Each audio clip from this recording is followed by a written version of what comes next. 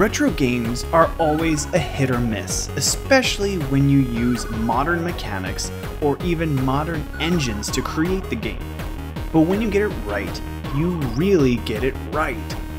Cast of the Seven Godsends, created by Raven Travel Studios and published by Merge Games and IV Productions, is a game that looks to be the perfect throwback arcade game when it drops on July 17th.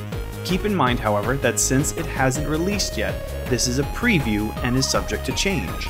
You are the hero, of course, and must save your captured child from the Dark Lord who is going to use the innocent life to further the darkness. Without hesitation, you jump into the adventure to save the world. Classic arcade style, with 2D platforming and all the forces of evil jumping at you from beyond the screen.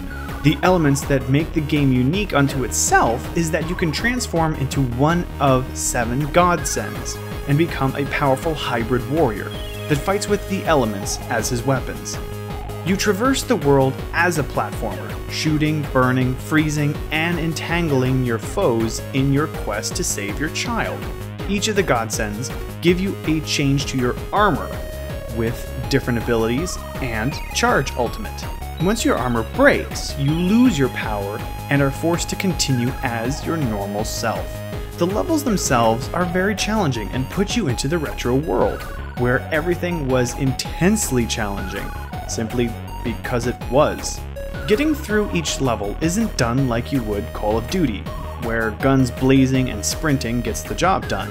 No, here you must actively try to traverse the 2D world as you would have in the hot arcade in summers past. Cast of the Seven Godsends looks to be a great release, with multiple challenges as well as playthroughs. When it drops on the 17th, it will either attract everyone because of how old school it is, and is totally radical about it, man, or will be passed up because it's simply a platformer with nothing new. Thanks for leaving us a like here at Indie Game, and as always, be indie, be free.